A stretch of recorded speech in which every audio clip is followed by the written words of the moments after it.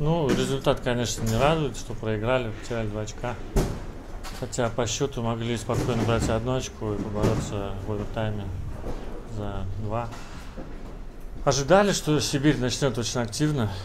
Такой был план на игру, что сдержать первый натиск буквально первые 10 минут. Это и было видно, когда болельщики погнали команду.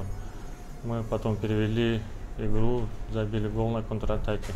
Конечно, сразу же пропустили, но вторую половину, на мой взгляд, мы играли в зоне соперника.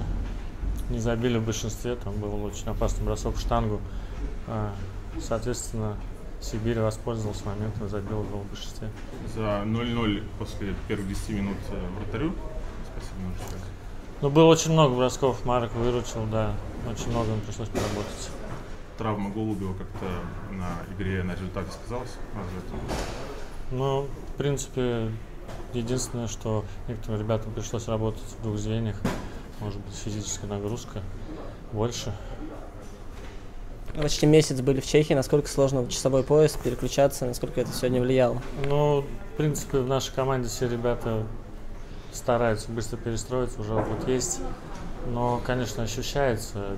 Днем хотел спать перед игрой. Тяжело было проснуться. Но у нас отменили раскатку. Все ребята проснулись, пообедали, погуляли.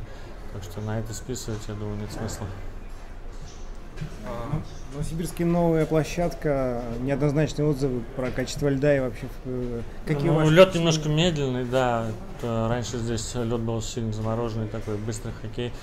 А, мы немножко не привыкли к этому размеру площадки. Но, в принципе, ничего такого страшного в этом нет. Но на именно на скоростях общекомандных, на э, качестве игры это сказывается. Да, ну не сказал, обе команды в одинаковых условиях. Сегодня не, не был медленный хоккей. Ребята все бились, было всем тяжело, это видно. Немножко было жарко, потому что на улице лето еще. Ну, на что тренеры просили обратить внимание перед игрой? На какие именно детали в игре Сибири? Ну, в игре Сибири что? Мы разобрали, что они забрасывают шайбу, идут активно двумя игроками. Мы пытались просто выходить из зоны через борт, использовать там стекло.